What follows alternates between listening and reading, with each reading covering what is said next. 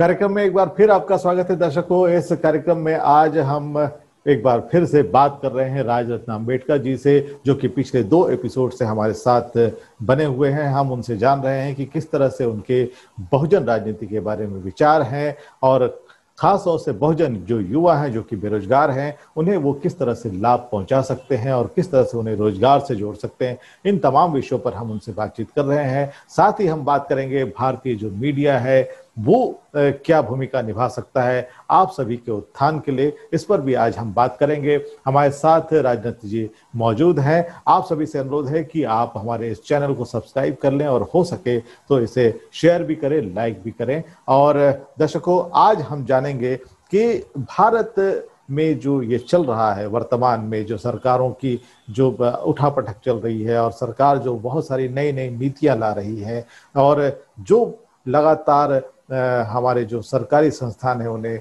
खत्म किया जा रहा है, उन्हें बेच दिया जा रहा है। शिक्षा की भी एक नई नीति बनाई जा रही है। इससे क्या असर पड़ेगा बहुजनों पर? इस पर हम बातचीत करेंगे। क्या कहना चाहते हैं, जानते हैं राजनीति जी से? कि स्टेट लैंग्वेज में एजुकेशन होगा। State language. अब मैं महाराष्ट्र में रहता हूँ। अगर यहाँ की स्टेट लैंग्वेज में मेरी बच्ची को पढ़ाया जाए, मराठी में पढ़ाया जाए, क्या वो इंग्लिश बोल पाएगी? क्या वो यूएस में जाके दो दिन भी रह पाएगी? नहीं रह पाएगी। आज हम लोग इंग्लिश बोलने की वजह से यूएस में जाते हैं यूके में जाते हैं, जो लोग हमसे बोल सकते हैं उनसे वार्तालाप कर सकते हैं, उनसे बिज़नेस लेकर आ सकते हैं। अब ये कहते हैं कि चेन्नई का आदमी सिर्फ़ तमिल में ही बात करेगा पंजाब का आदमी सिर्फ़ पंजाबी में बात करेगा तो ये वर्ल्ड में जाएँगे ही नहीं। देखो किस तरह से पूरे वर्ल्ड के दरवाजे हमारे लिए बंद किए जा रहे हैं। भारत के बाहर हम लोग जा नहीं पाए, इसलिए ये लोग इस तरह से पॉलिसीज़ बना रहे हैं। अगली पीढ़ी आपकी, देखो न्यू एजुकेशन पॉलिसी पांचवी से ही आपको प्लम्बिंग का काम सिखाया जाएगा, आपको मैकेनिक का काम सिखाया जाएगा, आपको कारपेंटरी सिखाई जाएगी। तो आपको क्या बनाना चाह रहे हैं ये लोग? आपको प्लम्बर फिटर कारपेंटर मैकेनिक बनाना चाह रहे हैं। हम हमारे बच्चों को आईआईटीएन बनाना चाहते हैं। ये हमारे बच्चों को आईटीआई का एजुकेशन देना चाहते हैं। ये है न्यू इकोनॉमिक पॉलिसी पॉलिसीज़ बनाकर ये हम लोगों को कैद करवाना चाहते हैं। हम अपने बच्चों को ऑक्सफोर्ड में भेजना चाह रहे हैं। ये हमको यहाँ तक सीमित रखना चाहते हैं। तो कई सारे मुद्दों के ऊपर काम करना हमारे लीडर्स को ज़रूरी है। लेकिन हमारे लीडर्स जिस तरह से किसी घोड़ा गाड़ी के उस घोड़े को जो दो बांधे, बाँध दिए जाते वो आगे आजू बाजू में कुछ नहीं देखता, सिर्फ़ वही रास्ता देखता रहता है। उसी तरह से हमारे लीडर्स पॉलिटिक्स ओनली पॉलिटिक्स उतना ही देख रहे हैं आजू बाजू में कुछ नहीं देख रहे एक रात में, मैं एक्चुअली इन महाशय का यहाँ पर उदाहरण नहीं देना चाहिए, लेकिन वो एक प्रोटोकॉल में है, राज्यसभा में है। अठौली जीत के पास 400 साढ़े चार सौ करोड़ का करोड़ का सालाना उनके पास ऑथोरिटी है, उनके पास प्रोजेक्ट्स वो कर सकते हैं। एक रात में हमारी फैक्ट्रियाँ खड़ी हो सकती है। एक रात में हमारी इंडस्ट्रीज़ खड़ी हो सकती है। एक रात में हमारी यूनिवर्सिटी खड़ी हो सकती है। इतना निधि इनके पास है। अगर वो अपने राज्यसभा का निधि सही इस मामले में इस्तेमाल करते हैं तो हमें किसी के पास जाने की ज़रूरत नहीं है। लेकिन उनके पास सिर्फ़ पोजीशन है। वो आ, पैसा इस्तेमाल करने का पावर उनके पास नहीं है। तो ऐसा पैसा समाज की किसी काम का नहीं होगा। आज मैं देखिए एक एक रुपए से लोगों का काम, लोगों की ये सारी इंडस्ट्रीज़ के ऊपर काम कर रहा हूँ। ये एक रुपया भी पावरफुल है, अगर हम प्रॉपरली वो इकट्ठा करें। तो ये सारे विजन के ऊपर हमको काम करने की बहुत ज़रूरत है। सभी लोग आप कह रहे हो कि वामन मेश्राम जी काम कर रहे हैं, अठोली जी सॉरी अठोली जी तो काम नहीं कर रहे हैं वो किसी और के इशारे पे काम कर रहे हैं। मायावती जी काम कर रहे हैं, यहाँ पर प्रकाश अंबेडकर जी काम कर रहे हैं। तो इन सभी लोगों को हमको बल देना होगा। मैं ये नहीं कह रहा कि वामन मेश्राम जी गलत है, या मायावती जी गलत है, या प्रकाश अंबेडकर जी गलत है। सभी लोग अपने अपने फ़ील्ड में माहिर हैं, सभी लोग क्वालिफाइड हैं, इतने सालों से वो काम कर रहे हैं तो हमको, उनको अपने अपने तरह से पुश करना होगा। और जो लोग इकोनॉमिकल एक्टिविटीज़ कर रहे हैं, हमको उनको भी आगे लाना होगा, उनको भी एक प्लेटफॉर्म उनको देना होगा। ये मेरी सोच है ये मेरी भावना है। मैं बुद्धिज्म को फॉलो करता हूँ सिर्फ़ पढ़ता नहीं हूँ उसको अंगीकारने का भी आ, करने का मैं कोशिश करता रहता हूँ।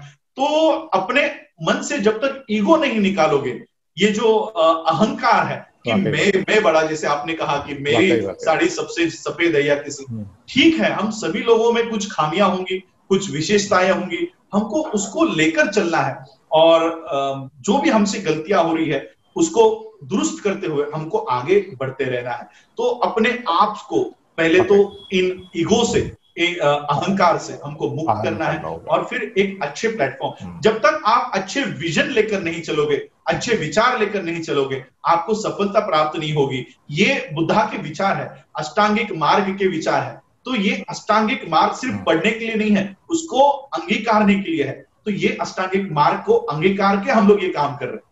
वाकई वाकई। राजनीति जी, आपने विजन की बात की और दृष्टिकोण की बात की तो हम ये देख रहे हैं कि पिछले कुछ सालों से जो हमारा माध्यम है, जो हमारा जहाँ से विचार बदलते या परिवर्तित होते हैं, अपने एक नया रंग मिलता है उस, उन विचारों को, जहाँ से वो विचार प्रेषित, संप्रेषित होते हैं, वो मीडिया। वो मीडिया जिन युवाओं के लिए आप काम करना चाहते हो वो सारे युवा तो इन दिनों रिया रिया कर रहे हैं नौकरियों की बात ही नहीं हो रही है। तो ये जो स्थिति है मीडिया की इस मीडिया के रहते कैसे आप काम कर पाएँगे? उन लोगों के लिए जिसको इन तमाम चीज़ों की आवश्यकता देखिए मीडिया के ऊपर भी आप लोग आपने बात की। अभी मैं मीडिया यानी न्यूज़ चैनल एक भी न्यूज़ चैनल में नहीं देखता जितना भी सोशल मीडिया है हम्म। और गूगल न्यूज़ है मैं उसको रेफर करता हूँ। क्योंकि इंडिया का मीडिया अब इसको मीडिया नहीं बोलना चाहिए, इसको मोदिया बोलना चाहिए। दिन भर मोदी मोदी मोदी, अब इनको एक नया मिल गया है सुशांत, वो तो बेचारा मर गया।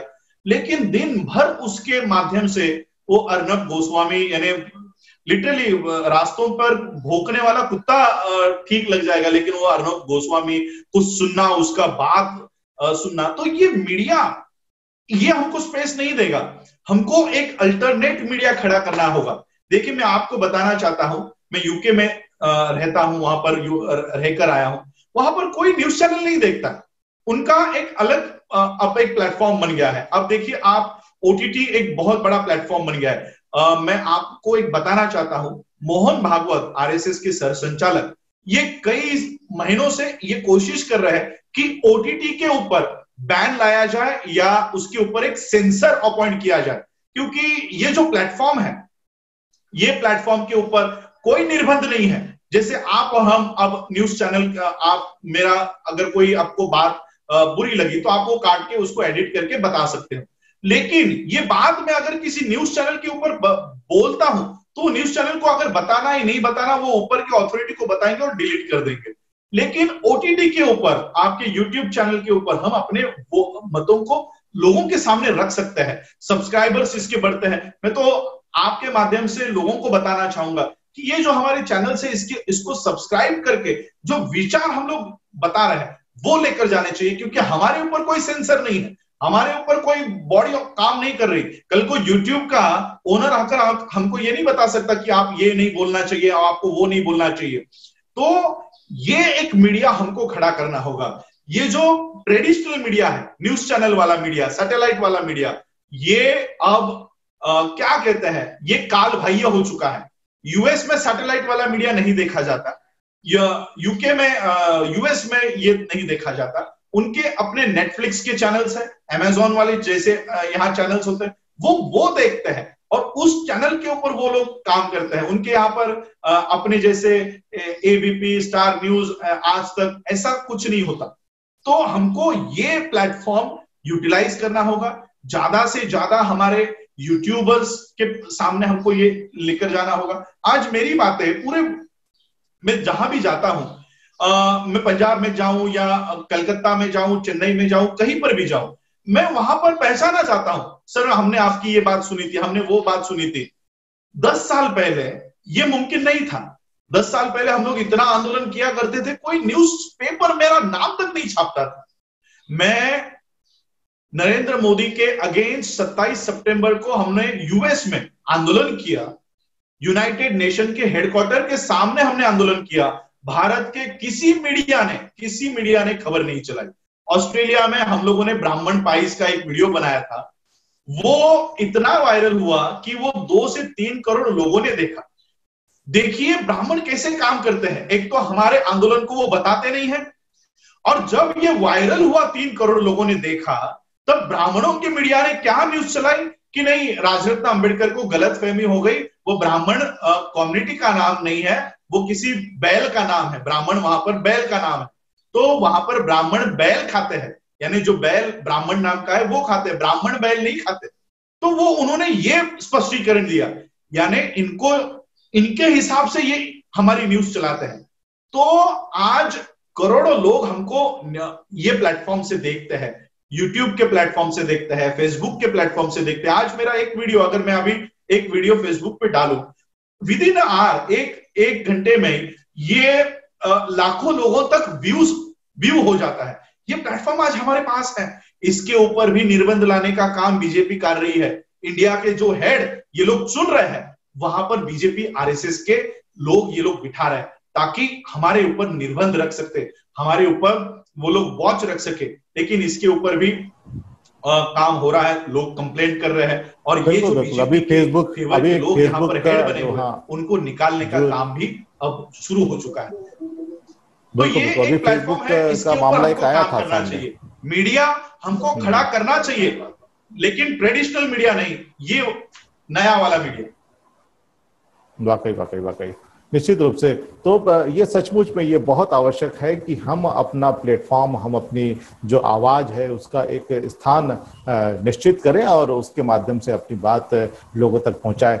ये जो भविष्य जो हम देख रहे हैं युवाओं का, अभी इस पर वाकई बहुत ज़्यादा ज़ोर देने की आवश्यकता है। हम बहुत सारी बातों के लिए आपसे लगातार जुड़ते रहेंगे। आपने यहाँ पर आज तीन चार विषयों को बहुत बेहतर तरीके से कहा है। और कोई बात अगर आप हमारे दर्शकों से कहना चाहते हैं तो आप इस वक्त ज़रूर कह सकते हैं। इसके बाद कि हम बातचीत पर संपर्क करें देखिए, अभी वाइंड अप ही हो रहा है तो मैं आज जहाँ पर मीडिया के सब्जेक्ट से हम लोगों ने कंक्लूड किया है तो मैं आप दर्शकों से मैं कहना चाहूँगा कि इस मीडिया को भी जो जो चैनल्स बहुजनों की आवाज़ लेकर आ रहे हैं, इसको भी हमको सब्सक्राइब करना चाहिए।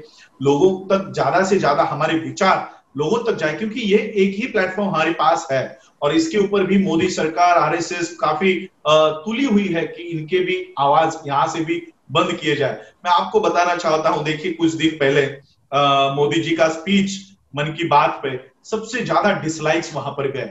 डिसलाइक्स वहाँ पर गए। जैसे ही डिसलाइक्स गए मोदी जी के उस चैनल के ऊपर कमेंट सेक्शन उन्होंने बंद कर दिया और अभी एक नया उन्होंने ये किया है। लाइक्स और डिसलाइक का सेक्शन भी उन्होंने बंद कर दिया है। देखिए किस तरह से लोग अपनी बातों को अब रख सकते हैं। ये प्लेटफॉर्म ऐसा है कि वो मोदी हो या कोई भी हो।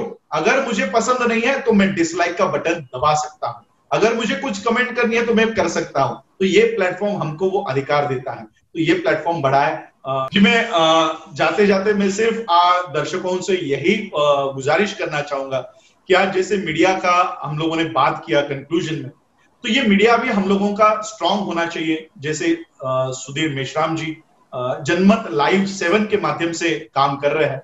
तो ऐसे चैनल्स को हम लोगों को बढ़ावा देना चाहिए। इसको ज़्यादा से ज़्यादा सब्सक्राइब कीजिए लाइक लाइक्स कीजिए, ताकि हमारे विचार आप लोगों के पास पहुँच पहुँच सके और ये एक मीडिया का प्लेटफॉर्म हम लोग देश में खड़ा कर सके और अपनी आर्थिक व्यवस्था को भी अपने हाथों में ले सके, ऐसी गुजारिश मैं सभी लोगों से करना चाहूँगा। वाकई वाकई। और निश्चित रूप से ये काम जो है हमारे देश का युवा जो है अब बहुत बेहतर तरीके से कर सकता है क्योंकि युवाओं ने ही सौंपा था जो वर्तमान सत्ता है जो उनको राजनीति की चाबी सौंपी थी। अब युवा अगर जागृत हो जाता है तो निश्चित रूप से ये चाबी किसी और के हाथ में भी सौंप सकता है या वो खुद के हाथों में भी ले सकता है। तो ये जो सारा कुछ है ये प्रबोधन यानी कि इस तरह से लोगों तक ये बात अगर सही ढंग से पहुंचेगी तो निश्चित रूप से ये सब कुछ संभव हो सकता है। आपने तमाम मुद्दों पर अपनी बात बेबाकी तौर पर रखी है। आपका बहुत बहुत हम धन्यवाद करते हैं और उम्मीद करते हैं कि पुनः आप ऐसे मसलों पर अपने विचार रखने के लिए उपस्थित होते रहेंगे। आपका बहुत बहुत धन्यवाद थैंक यू जय भारत।